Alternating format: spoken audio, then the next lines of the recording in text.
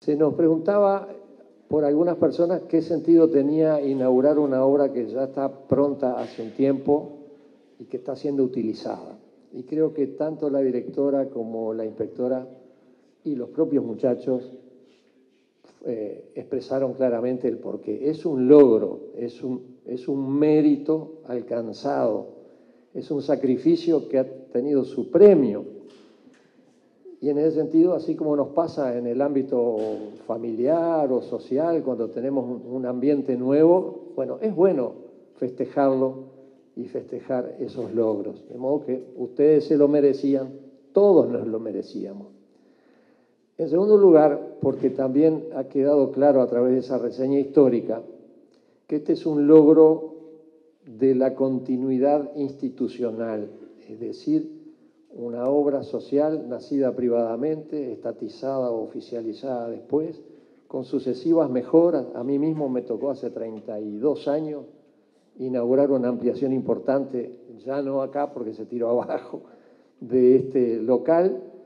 Y ha sido dicho que esta obra, esta en particular, fue concebida y planificada en la administración pasada, pero fue nuestra administración que en septiembre de 2020, y le voy a traer la resolución a la directora, resolvió asignarle los recursos y ponerle el cúmplice, decirle a la Corporación Nacional para el Desarrollo que ejecutara la obra, cosa que hizo.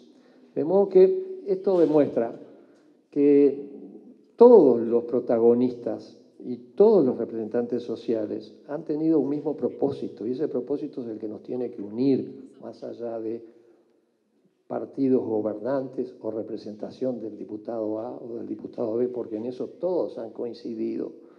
Y creo que del mismo modo que nosotros ahora estamos concretando esta obra soñada por personas de, administraciones pasadas, nos ha tocado este, inaugurar, por ejemplo, la Escuela de Tiempo Completo de Punta del Diablo y tantas otras obras. Y tenemos ya resuelto el aulario para el liceo y UTU de Castillos, donde por primera vez va a ser una experiencia integrada en que dos instituciones de educación media que comparten la misma manzana, pero están separadas por un muro, van a compartir también espacios educativos. Creo que va a ser una, una buena cosa desde el punto de vista edilicio, desde el punto de vista también del proyecto educativo. O sea que creo que sí se justificaba plenamente.